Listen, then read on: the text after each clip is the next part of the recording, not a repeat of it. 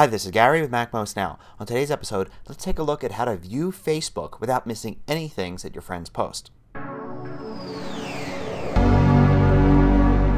So I don't get asked many questions about Facebook, but when I do it's usually about this topic. It's when you miss something that somebody posted on Facebook. You find out about it later and you realize you never saw it when you went to view your newsfeed on Facebook. Well, this is because Facebook doesn't show you everything. When you view the top stories on Facebook, you only see a selection of what's available. Presumably this is because otherwise there would be a ton of stuff. But some people don't mind looking at a ton of stuff and just don't want to miss anything that their friends post. So let me show you some techniques.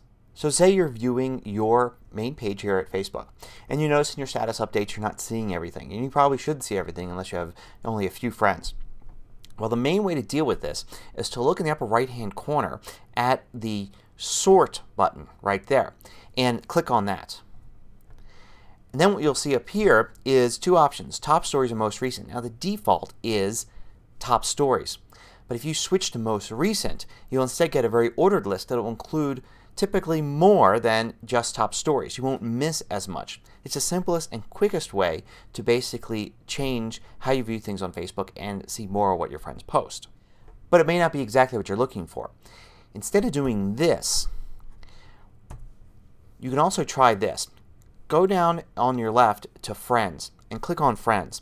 And then you'll get a list showing different groups, different lists of your friends. And you'll have some there by default like acquaintances and close friends. But you can also create your own by clicking Create List. Then you'll get something that looks like this. You'll give it a list name and you'll be able to add members by typing their name. So what you want to do is you want to give it a list name like everything or all my friends or something like that. Or my main list or viewing list. Then under members just add one to start with. So add one friend to it so you get the list going. Then when you've done that you'll look down on the left under Friends and you should see that listed there. So you're going to want to click on that to go to this list of friends. And you're going to get basically something that looks like your main news feed but instead it's showing to list only updates by that one friend that you've listed. So now click on Manage List at the upper right. And here's where you can do several things and most importantly at the beginning you can click on Edit List. When you do you'll get a list with thumbnails of all your friends. And you can go and add them to the list. So first thing you want to do is click on the little pop-up in the upper left like I have here and select Friends.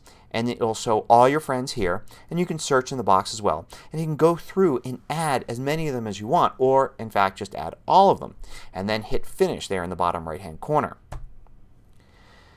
You can also use this Manage List pop-up here uh, to show what you want to have in this list. So for instance you can turn off things like uh, games or music and videos uh, and just leave things like photos and status updates. So you can kind of further customize the list.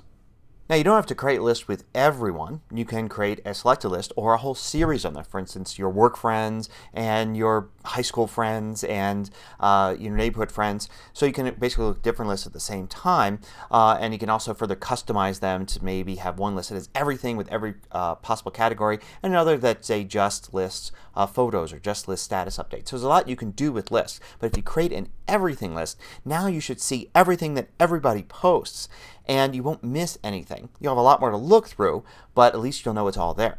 And if you're on the iPhone or on an iPad, uh, you click here in the upper right hand corner. You can see that little icon there to reveal this list to your left. Uh, you won't need to do this I think on the iPad. I think it's only on the iPhone where there's limited screen space.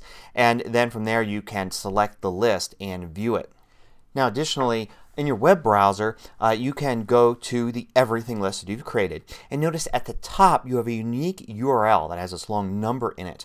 So you can bookmark this page. So instead of having to go and find this list every time you go to Facebook, instead create a bookmark, put it in your bookmarks bar, do whatever you want with it, and create uh, this link directly to this list. So instead of viewing Facebook as you would normally just at Facebook.com, instead go to this link and it will take you right to this list showing all the posts by everybody. So there's a handy technique for being able to view all the posts from all your friends on Facebook. Till next time, this is Gary with MacMost Now.